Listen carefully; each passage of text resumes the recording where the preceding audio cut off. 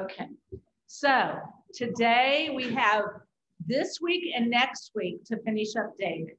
And um, today, and, and then after that, I'm going to give the tease again. We're going to do sessions on the parables, and we're we're going to sort of do it like the Psalms in that we're not going to do every single parable, but we're going to do some we know and some we don't know. And so we're excited about going back to the New Testament and studying the parables.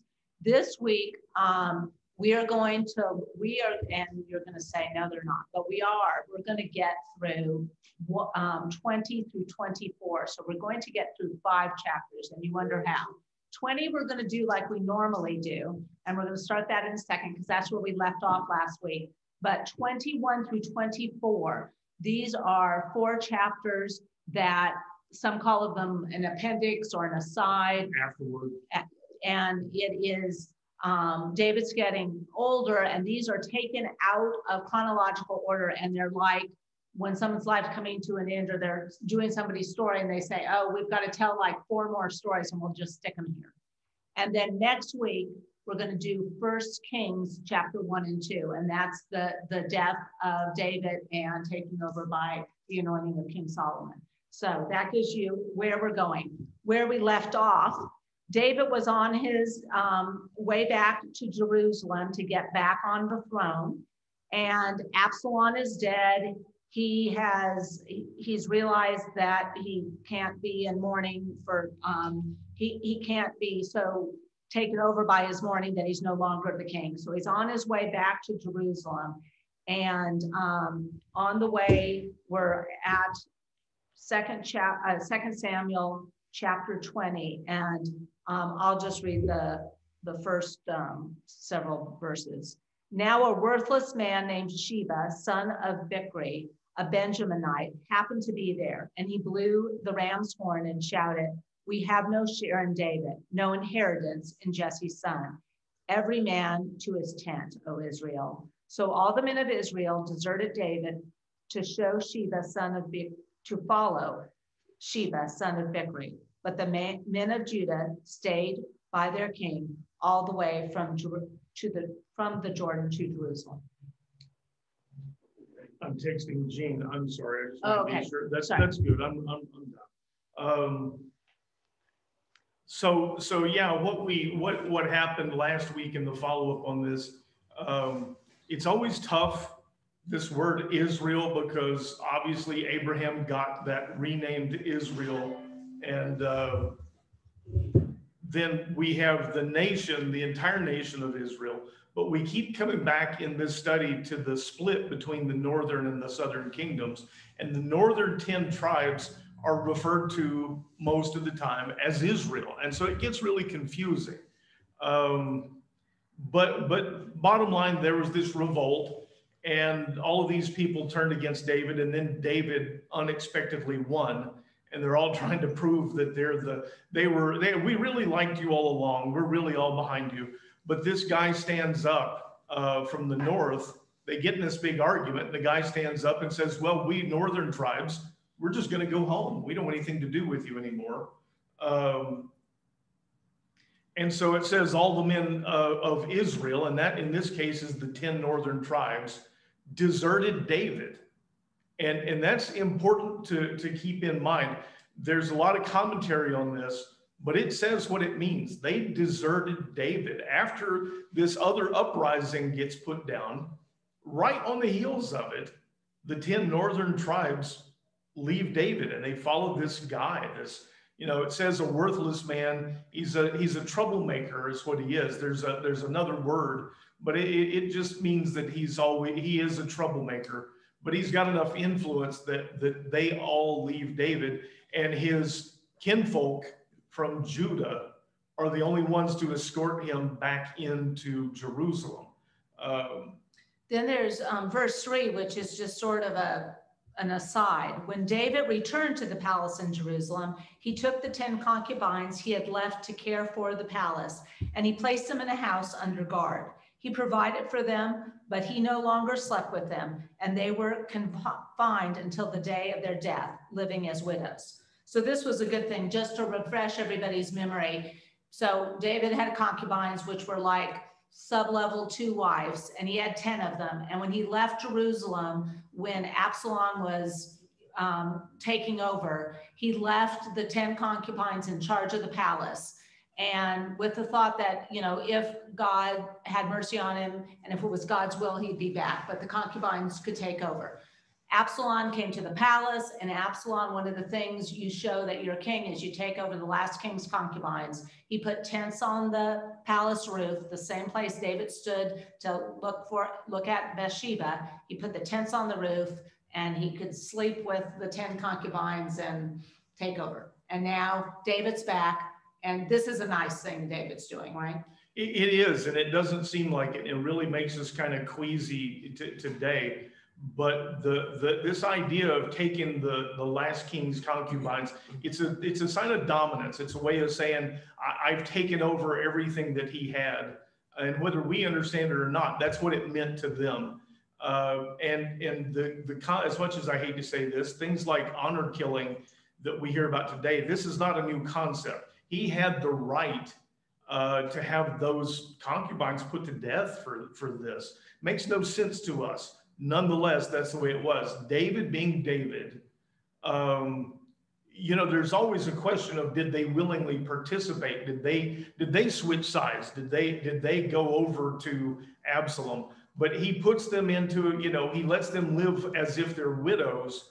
Uh, he doesn't have anything else to do with them, but he doesn't have them put to death.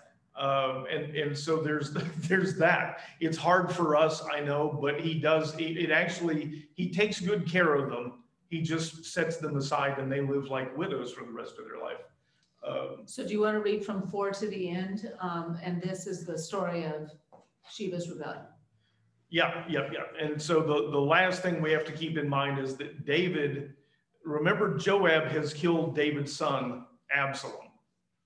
And uh, the, the, Joab is a nephew of David. Uh, he and his brothers are just wild men, but they're they're they're tough. I mean, if you want to if you want to keep a kingdom secure, they're good guys to have on your side. You sure don't want them on the other side. But after this, uh, after Absalom is killed and this is over, he's he's trying to sort of put the kingdom back together. And I think one of the signs is he makes this Amasa, who had led Absalom's army. He says, I'm going to put you in charge of my army. Well, it, I think, is a rebuke to Joab for having killed David's son. But it also says, I'm not going to, I'm not going to kill all you people who revolted against me. And so he's, he's each, he keeps reaching out to different ones. And in this case, he tells, he says, I'm going to let the guy who led the other army be in charge of mine. So I'm putting things back together. Uh, Amasa is a relative of Joab, his, his previous military leader. Uh, I don't know if they're cousins or if Amasa's an uncle. But anyway, he gives Amasa his first job. Uh, it says that, that they get back to Jerusalem, and the king said to Amasa, Summon the men of Judah to come to me within three days and be here yourself.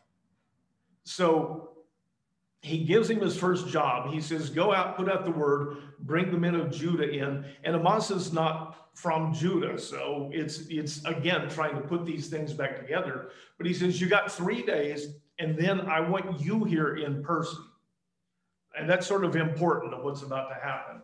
So Amasa went to summon Judah, but he took longer than the time allotted to him. Uh, and a lot of things can be, you know, can have happened. But the point is, this is an important thing. Remember, this guy, Bichri, has started a new revolt. And he's taken all the people, all the men from the 10 northern, uh, or Sheba, pardon me, yeah, the son of Bichri, Sheba, and he's taken all the men from the northern tribes and they've gone. And he's going after them. And so it's an important thing. And he tells the, his, his new military commander, I want you to go out and raise the men of Judah, but in three days, I want I want them here and I want you back here in person. So to not show up, you better have a good story. You better have a good reason for not being there. Um, And David said to Abishai, who's one, who's one of those three brothers, that's Joab's brother, because he can't go to Joab. Remember, he sort of he sort of demoted Joab. So he says to his brother Abishai, um, Six, yeah. yeah, now now Sheba the son of Bichri will do to do more harm to us than Absalom. Take your Lord's servants and pursue him, or he will find fortified cities and elude us all. So, I mean, he sees a revolt here. And he said, you know, he's just had this big fight with Absalom. And he tells this guy, he says, look, gather a bunch of people and go after this guy. He's going to do more harm to us than Absalom did. And that's saying a lot. But you can see it because he's got, you know, he appears to have the support of all 10 northern tribes and he's running back off to the north. He's going to gather people uh, and and start a whole new. And they're all fresh off of another revolution, another revolt. He says this is going to be terrible. Go write him down. Uh, so Joab's men, along with the Kerethites and Pelethites and all the mighty men, marched out of Jerusalem to, in pursuit of Sheba, the son of Bichri. And while they were at the great stone in Gibeon, Amasa joined them.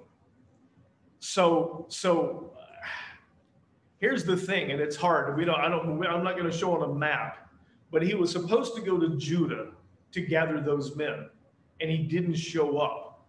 And Judah is sort of out to the west and southwest of Jerusalem. This place they're at, Gibeon, is north of Jerusalem.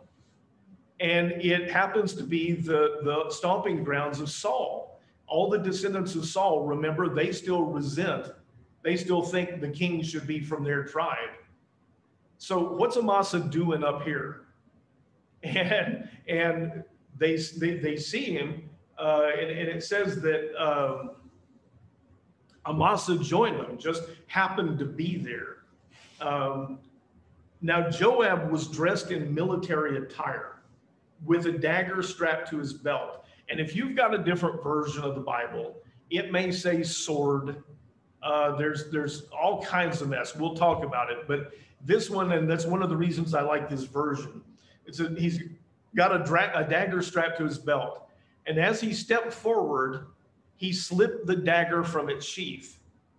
And if you've got a different version of the Bible, some of them actually say he dropped it, like it just happened to slip out of its uh, the, the sword slipped out of its sheath. I'm going to tell you if you're in battle and you've got a sheath that lets the sword slip out of it, you're in trouble. And yet, these translations, it just makes me all crazy like, uh, you know how I am. But it says that it's like the sword slipped out of its sheath. And some of them even say it fell to the ground. Uh, okay, let's keep going. So Joab walks up and asks Amasa, uh, or, or, uh, and says, Are you well, my brother? So, the, you know, it's just this kind of common greeting. How are you? I am fine. Are you well, my brother? Uh, and with his right hand, Joab grabbed Amasa by the beard to kiss him. And that's that Mediterranean kiss on both cheeks. And so you reach up, you grab the beard, you're about to give him a kiss on both cheeks. Uh, and it says Amasa was not on guard against the dagger in Joab's hand. And Joab stabbed him in the stomach and spilled out his intestines on the ground. And Joab did not need to strike him again, for Amasa was dead. Then Joab and his brother Abishai pursued Sheba, son of Bichri. This is a terrible story. and and if you read, especially you know the translations that don't get this right, or if you don't understand the geography, you think, oh well, he just you know, I mean, Amasa's out here doing his job, and Joab comes up and kills him. But there's no reason for Amasa to be in this place. This guy Sheba is heading back up to their their homeland, the ten tri- the ten northern tribes. Amasa is supposed to be out gathering up the people of Judah. So we have every reason to believe Amasa is trying to help this new revolution. Joab, being Joab, the ever practical, you know, uh, powerful guy he is, walked up like, "Oh, fancy seeing you here. How are you?" And I'm gonna he's gonna give him a kiss on the cheek, and he he opens him up. Joab's good at that sort of thing, and there's a lot of speculation that Joab re- resented being demoted, and he was trying to get rid. And that may have been part of it. It probably was, but he dispatches this guy, and immediately they hit the road after uh, Sheba, the, the guy leading this new re- revolt, uh, probably thinking if this guy was helping them, we got trouble. So he doesn't waste any time. But jo- Joab wasn't specifically, you know, supposed to be the one leading, but Joab's a leader. That's the way it goes. Uh, and, and they take off pursuing the guy. You want to go? Um, sure, 19? Oh, no, 20. uh, Eleven. 11. One of Joab's young men stood near Amasa and said, Whoever favors Joab and whoever is for David, let him fo- follow Joab. But Amasa wallowed in his blood in the middle of the road, and when the man saw that all the troops were stopping there, he dragged the body off the road into a field and threw a garment over it. As soon as Amasa's body, body was removed from the road, all the men went on with Joab to pursue Sheba, son of Bichri. Sheba passed through all the tribes of Israel to uh, Abel Beth Makkah and through the entire region of the Berite, Berites, who gathered together and followed him. And Joab's troops came and besieged Sheba in Amel Bath Makkah and built a siege ramp against the outer rampart of the city. As the troops, as all the troops with Joab were battering the wall to topple it, a wise woman called out from the city, Listen, listen, please tell Joab to come here so that I may speak with him. When he had come to, near to her, the woman asked, Are you Joab? I am, he replied. Listen to the words of your servant, she said. I'm listening, he answered. Then the woman said, woman said, long ago they used to say, seek counsel at Abel, and that is how disputes were settled. I'm among the peaceable and faithful in Israel, but you're trying to destroy a city that is a, mo- is a mother in Israel. Why would you swallow up the Lord's inheritance? Far be it, Joab declared. Far be it from me to swallow up or destroy. That is not the case. But a, man, but a man named Sheba, son of Bichri, from the hill country of Ephraim, has lifted up his hand against the king, against David. Deliver him alone, and I will depart from the city. Look, the woman replied, his head will be thrown over to you, over the wall. Then the woman went to all the people with her wise counsel, and they cut off the head of Sheba, son of Bichri, and threw it to Joab. So he blew the ram's horn, and his men dispersed from the city, each to his own home. And Joab returned to the king in Jerusalem. Yeah, and the last part is just telling you who's who here. So, so Joab, and again, remember David sent Abishai, Joab's brother. Joab is no longer in charge. And the guy who is in charge, Joab kills him. I mean, just walks up and dispatches him. And all the men are looking because this is the guy who was in charge of the army. And, and Joab just killed him. And I'm sure they're trying to figure out what are we supposed to do?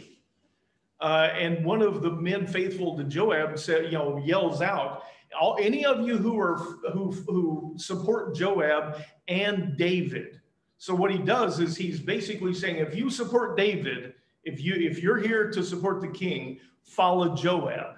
So Joab is back in charge, uh, and he's got his men well trained. I mean, it was a very astute thing to do, uh, and they just they tossed the body off the road because the guys were sitting there looking at this, and I'm sure they're thinking, you know, that could be me. I mean, if I do some little wrong thing, that could be me. So they just toss the body and they say, we got a job to do, and off they go.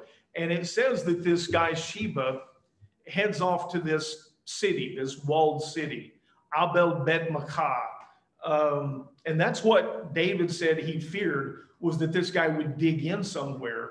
And if you don't get him, then he's going to eventually raise more people and they've got another war on their hands. But an aside, when he first said, you know, we're not going to follow David anymore. It said all the people basically of the northern tribe are following him. When they go to this walled city, it's just whoever they say is following him is basically just his clan. So he he isn't he's no David. He doesn't have a following like David. I mean, people said, yeah, we're going to be against David, but when when it comes down to it, it was just a few people. And that's that's in that human behavior. Everybody everybody leaves with this guy. Yeah, rah rah. We're on. You know, yes, we'll follow you. And then they just sort of drift off to their homes. Nobody really wants to get in a in a you know war with David. Now, given time, this guy could probably get support, and they'd have to put down this uprising but he travels through these northern kingdoms and it's really only his own clan his own group that are with him and they go into this walled city. And joab and the men of, of um, judah are hot on their heels and so they come to the walled city and the people inside there you can just imagine they didn't ask for this. And i'm sure this Sheba and his men came in as soldiers, made them lock the gate, secure everything. They didn't ask for this. And so they're outside preparing to start this siege of the city. And a woman comes and, and from the city and, and to, to talk to Joab.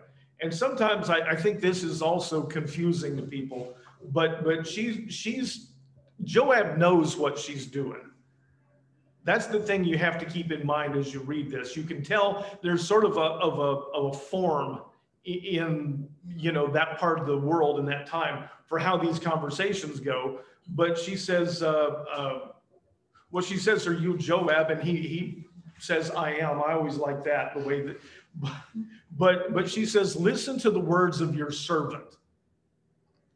And you hear that term a lot. Instead of saying, "Listen to my words," it's always listen to the word of your servant. So they humble themselves and say, you know, they're saying, she's saying, listen to me.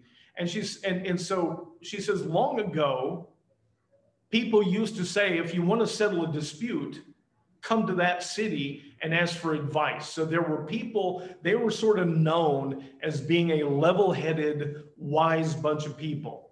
And she's known as being a wise woman within this town. And she says, This place has a reputation. And it's, she says, it's a mother. So this is a city that's been around a long time. They do good things. They're, they're, why would you want to destroy God's inheritance by bringing down this city? And Joab, I love this. Far be it from me to cause destruction. This is Joab, remember? Far be it from me to cause destruction. But what he's really saying is, he says, Look, I don't want to do it. And, and he knows what she's getting at, he knows where she's going. So this is all a dance. He says, I, I don't want to tear down your city, but there's this guy who has taken up refuge in there as if they didn't know that. Mm-hmm. And he says, Deliver him to me. And he doesn't even say deliver all of his men because he knows this is the guy as the problem child deliver him to me, and we'll leave all of you alone. And that's obviously what she had in mind. And she goes back and tells the rest of the people of the city uh, if we don't give this guy up, there's an army coming in, and we're all going to suffer for it. And we didn't ask him to come in. He came in here and forced himself in and made us lock the gates. And so the people of the city get together and kill this guy. And you notice this bit about throwing the head over the wall. It's gross. But also, what she's saying is, we're not opening the gates to you. All right. We're not going to, just in case you might be inclined to punish us for having him in here, you're going to have to earn it. So if you were serious, we're going to give you proof that he's dead, but we're not opening up the gates and they do this thing. They throw the head over the wall. And uh, Joab says, Yep, fine, I'm good. And everybody departs and goes home. But this is the end of a, of a really, I mean, this really ugly time with Absalom's revolt and having to put that down, and so many people changing sides, and the death of the king's son. And then immediately on the heels of that, this other guy, and, and it, he's hitting them at a time where they're weak They've already proven, Absalom has proven that people will take someone else's side given the opportunity. And this guy I, is thinking, I'm going to take advantage of that. Uh, and, and so, you know, David's reputation, though, has been with him for so long. You remember times where the Philistines don't want any part of fighting David because he has a reputation of winning. And then he gets kicked out of his own city. And from out in exile, he puts down the, the, the other army. He puts down the revolt. People are in no hurry to go to war with David. Uh, and, and, and so a lot of those people desert this guy. It probably sounded like a good idea when they were all angry, when they were being insulted. Remember that little argument at the riverside? It probably sounded like a good idea. And as they're heading off, they start thinking, we're back at war with David, and we remember what just happened to us when we went to war with David. So the one thing before we move on to the next chapters is, you know, we read the thing about the concubines. We always think in the Old Testament how women are treated and, you know, second class citizens, obviously. And, you know, I mean, I understand all that. But during this um, story of David, we have heard wise women. I think this is the third wise woman. I was trying to think who the second one was, but the first one was Abigail. And these are women that have something gutsy to say and they are listened to It's easily overlooked. It's a good point. They clearly are respected. Uh, their advice is followed. Uh, they aren't just tuned out because they're women. And she's the one that this town has represented them. So it's a it's a mixed bag, and it's probably worthy of a class in and of itself. But that's a that's a good point. Now, can I break real quick? So so this has been history. This last bit the, the big things you should we should see out of this is David is old. David is, as I said last week, he's a lion in winter. He's still David, but he's old and he's coming to the end. And I think, you know, we're going to see that people recognize it. And, and teaching pure history is tough. There's not a lot of lessons. Uh, you have to dig to get lessons out of this. And so I, I kind of, in some ways, I don't like doing this in a class, but I think maybe overall it helps our understanding of the of the Old Testament, some of the stuff that went on. So as I said, we're going to look at chapters 21 through 24, and we're not going to read, we will invite you to read them on your own if you're interested, but we're going to sort of summarize what they are because um, these are um, confusing. There are some yucky stories. It, they're not histo- they're not chronological etc. So I'm going to try what, 21. What this is, these last three chapters, this four. is our four chapters. This is basically uh, a way of sort of wrapping up David's story in this book of Samuel. They tell a, you know a lot about his his his mighty men. Uh, these are just sort of these are just sort of some collected tales that we think you you know whoever wrote this thinks you ought to know. But but because they're all out of chronological order, it's really confusing. And I, we don't want to, we don't want to beat this to death. So I'm gonna see if I can do 21 in five minutes. So 21 has two stories. The first part of the story is the Gibeon, Gibeonites.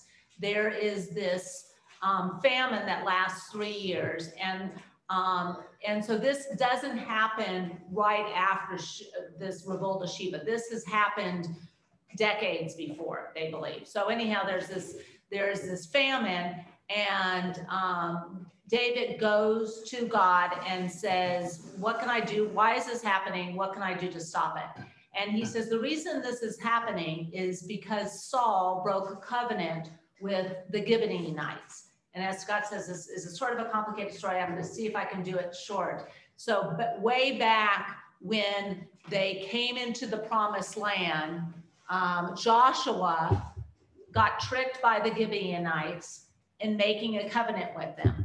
And they said, you know, don't kill us. And they, the Gibeonites became um, worker bees basically for, for Joshua and his people. And they, and they promised not to kill them.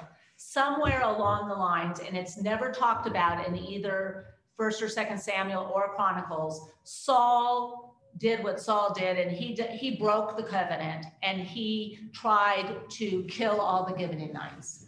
And as such, now he says, you know, Saul broke a covenant with the Gibeonites, and as such, that covenant's been broken. And the only, and he says that's why there's famine.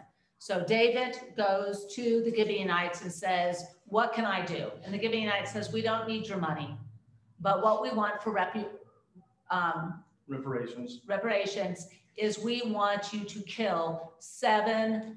Not to kill, to deliver to us seven men from Saul's family.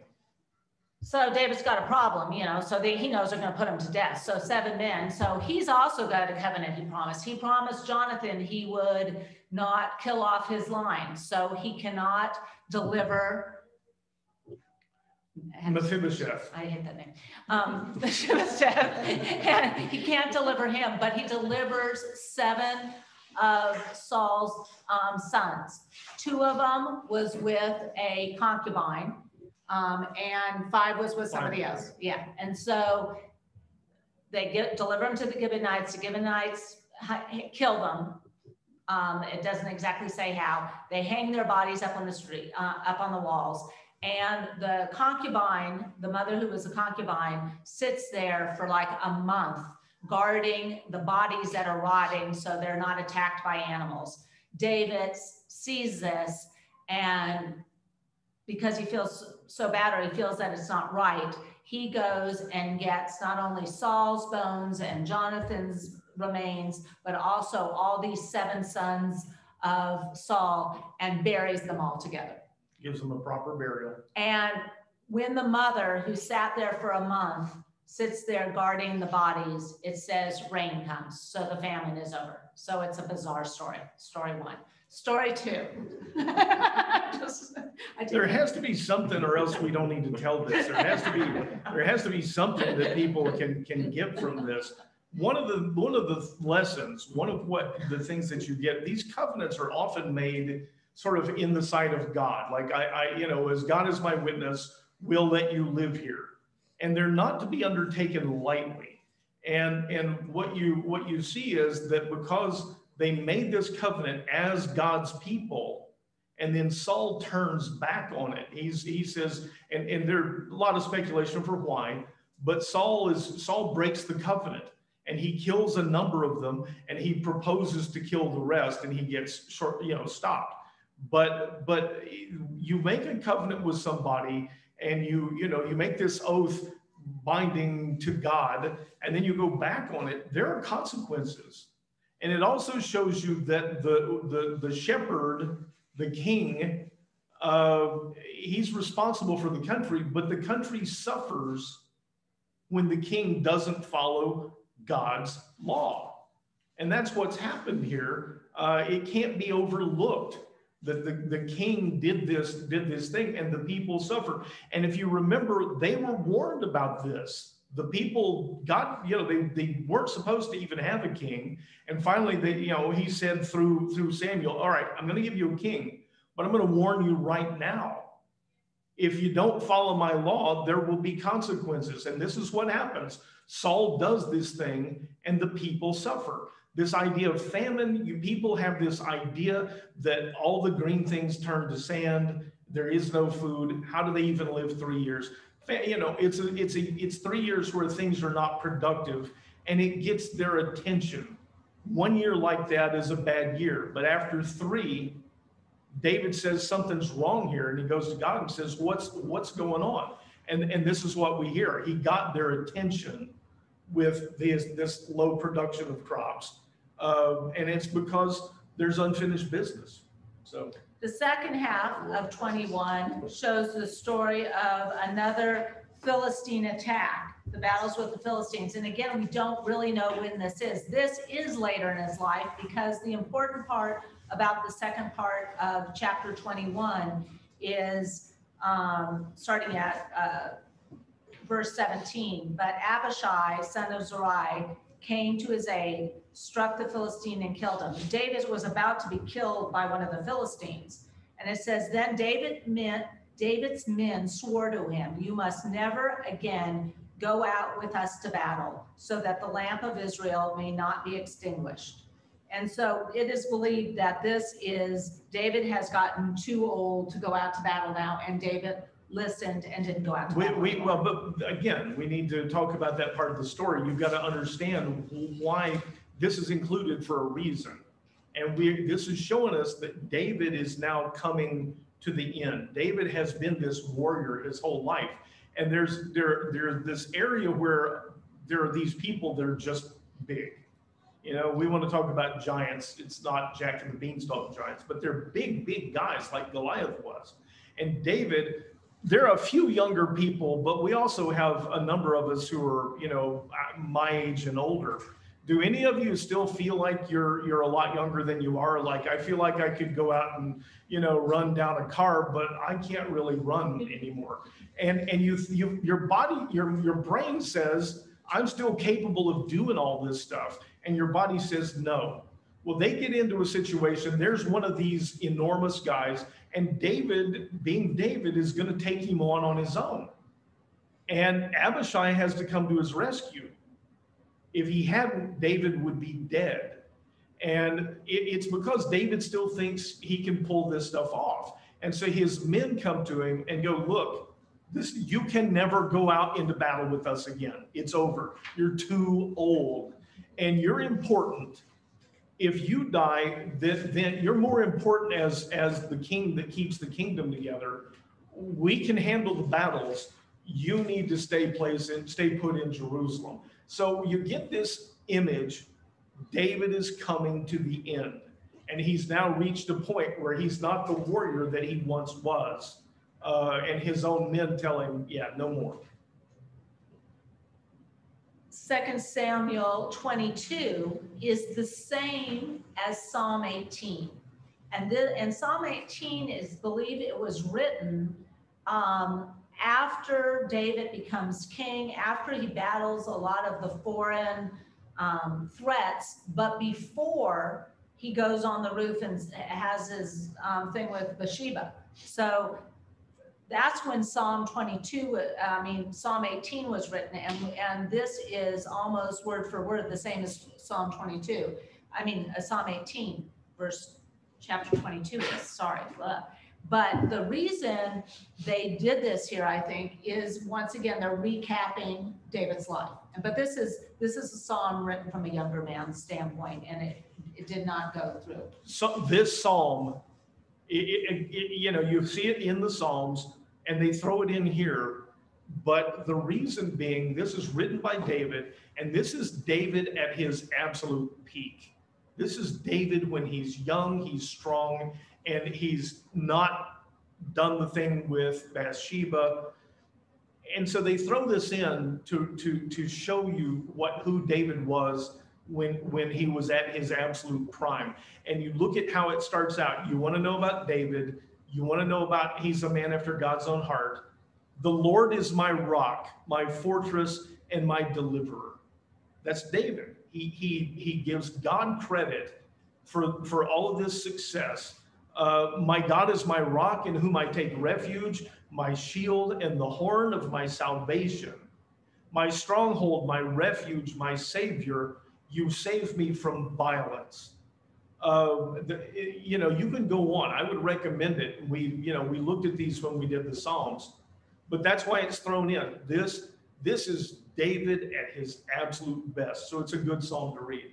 And then you go right on to Second Samuel 23. And in most Bibles, it says David's last song. So the first part of chapters 23 is another song, and it's the last song of David and it goes up to, to verse seven. But first, uh, um, and and this is later in his in his life, and then it goes to it goes to verse eight, and it talks about the mighty men, and this lists the names of David's mighty men. You can see David perhaps like at the palace, and he's getting a historian, and he wants to write down all his mighty men, and they talk about 30 mighty men. And if you go to the end of it, they list 37. So things like that always make me crazy. They say 30 mighty men and they list 37. It's because some of them got killed and got replaced. It's nothing more complicated yeah. than that. And so it goes through these 30 mighty men, which were people that helped David defeat all these people during his lifetime. and, and talks about, how, you know, he killed 800, he killed 2,000. Oh, you you had to throw that in No, there. You had well, to, well, I'm sorry.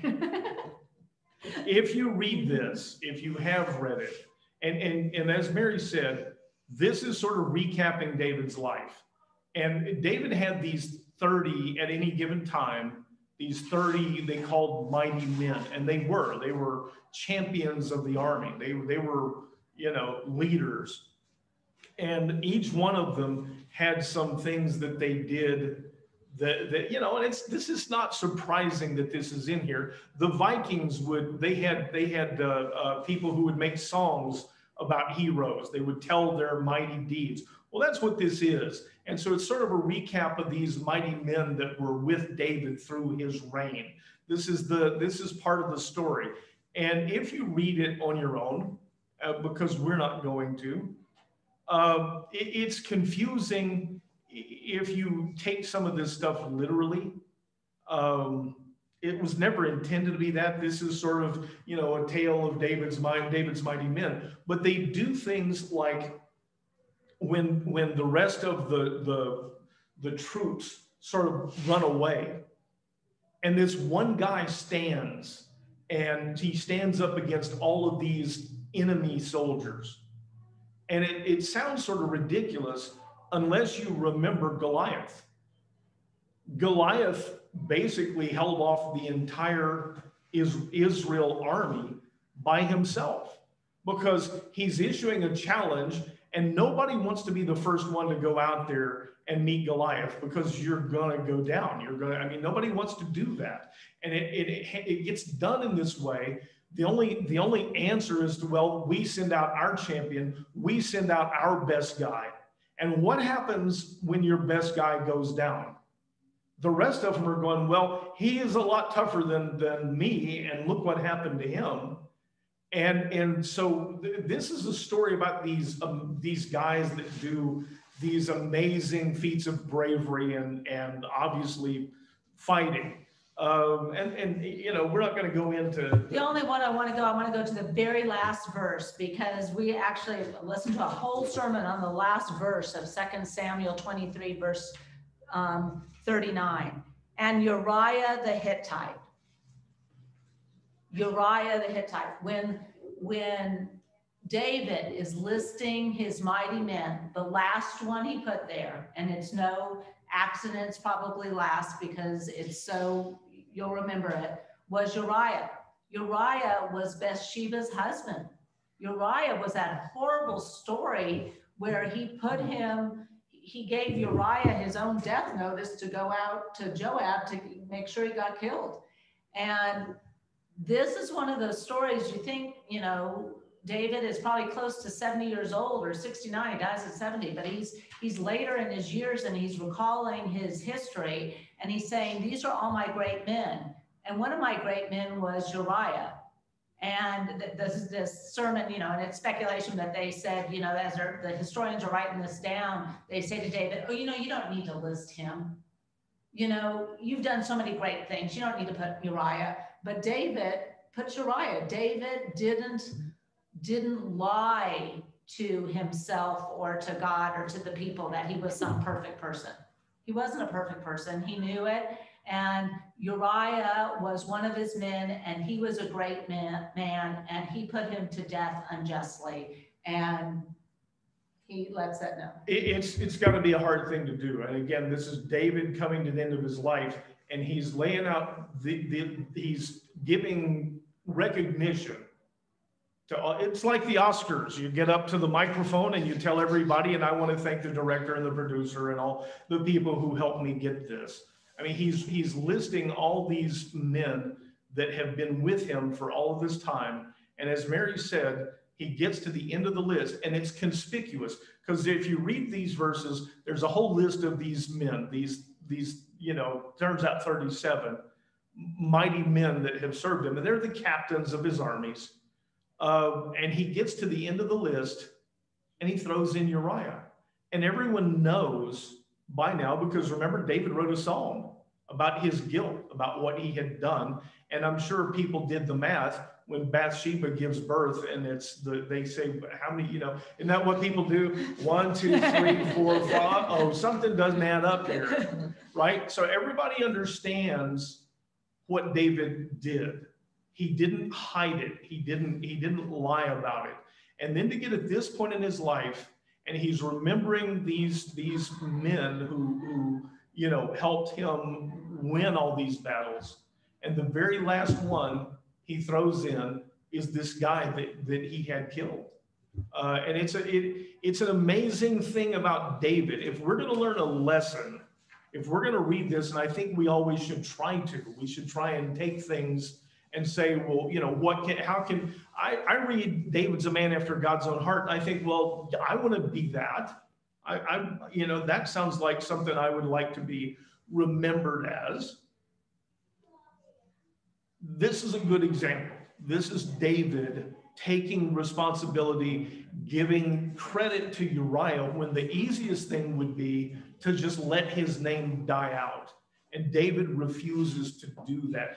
David takes the shame because Uriah, he says, deserves to be recognized. It's a good lesson. I mean, that's the sort of thing that, that David does right up until the very end that sets him apart. Most people would do anything they could to make that story go away.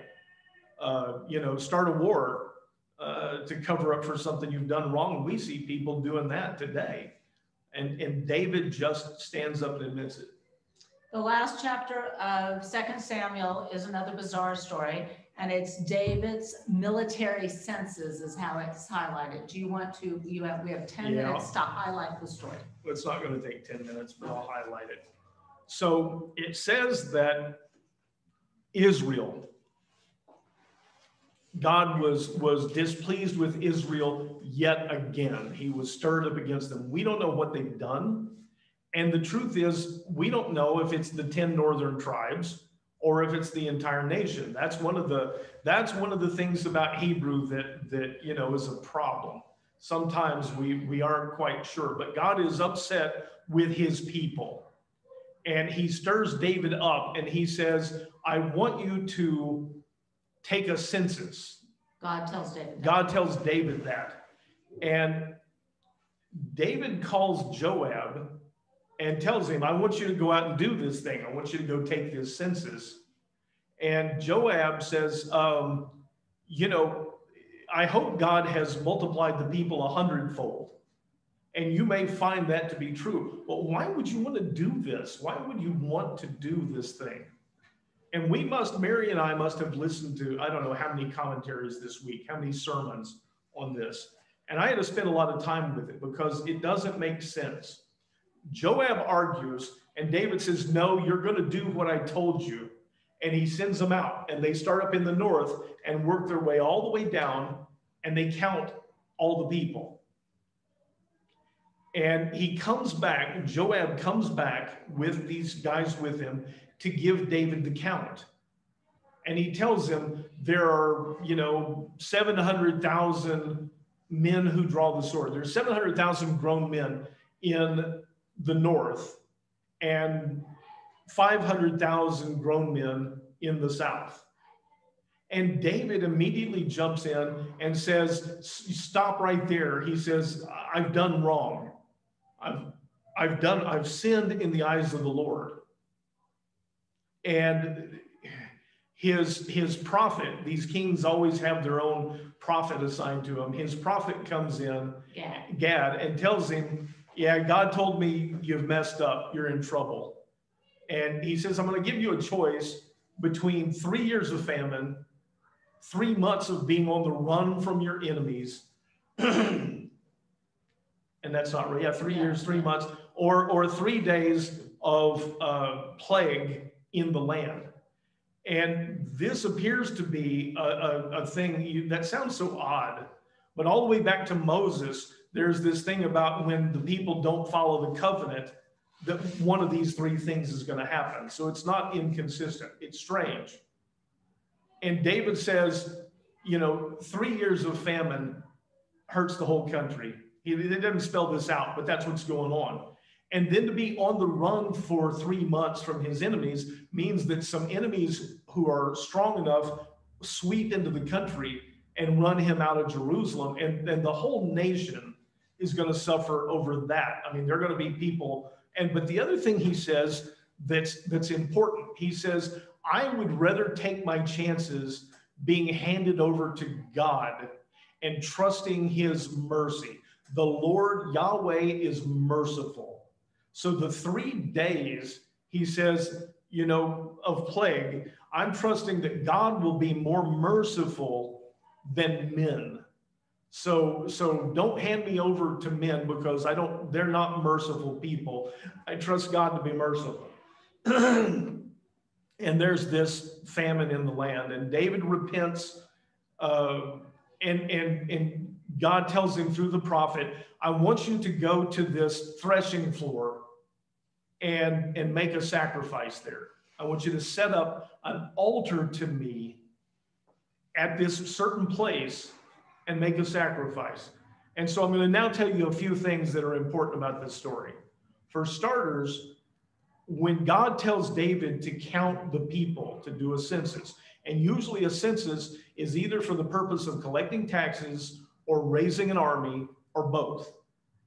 But there's a word, there's a Hebrew word, uh, hamah, and then David comes up and does a different thing. And if you don't go back to the Hebrew, this is horribly confusing because we don't have words that mean different things. And I don't know for sure yet. I, I, I, don't know if he was supposed to do something since God was angry that would that would send a message to them, something that was sort of punitive. And instead he decides just to count.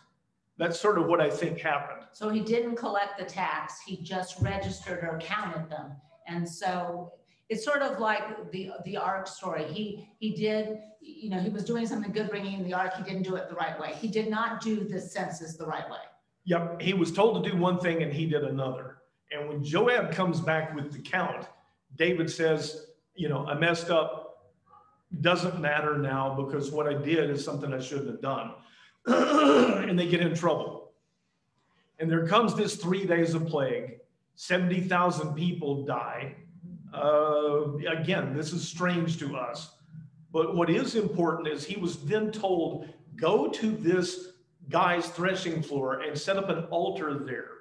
And David goes to the man and he says, I want to buy your threshing floor. And the guy says, Why? He says, I'm supposed to set up an altar to God. And he says, Look, and, and the guy's one of these foreigners. He's one of these protected foreigners. But he says, Look, if that's what it's for, I'll give it to you. excuse me, I'm not going to charge you for this. I'll give you the threshing floor. And David says, No, I'm not going to sacrifice something to God that didn't cost me anything. There's a lesson there. This is supposed to be a, you know, this is supposed to be an altar and a sacrifice. And David says, if it doesn't cost anything, it's not a sacrifice. So here's an aside, a lot of ministers do sermons to collect money this way because they say, um, do you give money to the church? Yes. Well, does it really hurt? If it doesn't hurt, it's not a sacrifice. So anyhow, we listen to a lot of sermons. It, it is those there. this is a fundraising fundraising tool. Um, but but anyway, here's the point, and this we're we're pretty much done anyway. But here's the point to this: this thing that he buys, this this piece of land where he sets up this altar then becomes the site of the temple. Had all of this not happened, the temple would not have been where it is because it belonged to someone else. And so the people that were first hearing these stories knew this story, knew that this this is Mount Moriah, knew that this was the the, the place, the threshing floor, and this is where Solomon built the temple which is the next part of the story. But for us who read it and else we go do a deep dive, you never know that that's there. And so we have this is one of the things that that I want to try and leave you with out of this story. We often have situations where we go, well, you know, if that hadn't happened, that terrible thing hadn't happened and led to this next terrible thing that happened, I wouldn't have wound up where I was. Mary and I would never have met if not for one terrible thing followed by another terrible thing. Uh, that's just a fact. That's just the way it is. I say I can't see any other possibility that at that particular time uh, I, we would have met. And it, and, it, and it gets, when it says God works all things together for good for those who love the Lord and are called according to his purpose. Uh, I, I, often say that, that the biggest train wrecks in my life have been the exact amount of force that was needed to push me from where I was to where I needed to be. Uh, and so, what we see in the story of David, it's this terrible thing, but it winds up being there's no other reason. David goes out and purchases this piece of land, and the temple winds up where it winds up at, you know, on Mount Moriah. Uh, and so, regardless of whether the, the, the history is good, it gets used in a way that turns out to be extremely important. Um, that's the close of Second Samuel. You might notice this is Second Samuel, and Samuel has been dead for a long, long time. So you know, you wonder why it is, but it's just, it's a continuation of this story that Samuel. When I told Scott, there's like, should have been a book of David for Pete's sakes, you know? There's no book of David. There's no book of Solomon. There's, you know, first and second Kings, I guess that's Solomon, but yeah, Samuel got two books and he was not, you know, anyhow. Um, so next week, we're gonna do First Kings, verse, um, chapters one and two, but we're also gonna see, since the sound system is better and we're wrapping up David, we want, we, we're gonna um, and I hate um, when people call on me and I don't even know they're going to call on me. So next week, we're going to not mute everybody. And we want you to think about as we, I mean, because we've studied David probably for 15, 16 weeks or something.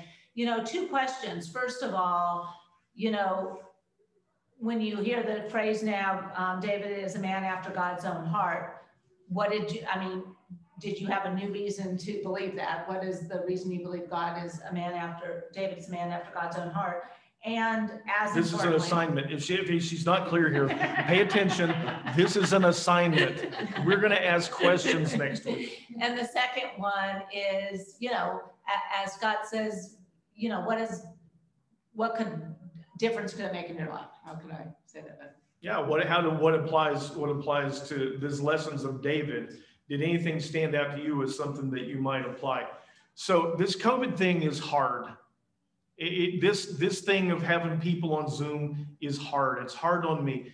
When we go into the parables, it really lends itself to discussion, and we are going to have to learn together some new tricks. Uh, when we're studying directly out of the Bible and directly out of the Old Testament, I sort of feel this obligation to to teach it because there's a lot of history. There are a lot of things that that you know everybody doesn't know, and and it's less when we're doing this. It's less about how do you feel about it, than than I think we need to learn what's there. But now we move into the parables, and I just think it's vital that we have conversation. I really do, and I don't know how to do it. If you have suggestions, email us or call us or do something but I, I really hope we can we can do this in a way that we can have some more conversation about it. The parables are, are an odd thing because they are they're messages that are not spelled out for us, and they're done that way intentionally. And so, to get to the message, uh, sometimes we get insight from from each other. So be thinking about that. And as Mary said, next week we're going to try and see if we can do this and, and see how the discussion works. And, and if I need to make more adjustments on the sound system, I will. Prayer. Prayer. God, we see in this life of David uh, so many examples for us, good and bad, things to do and things to avoid.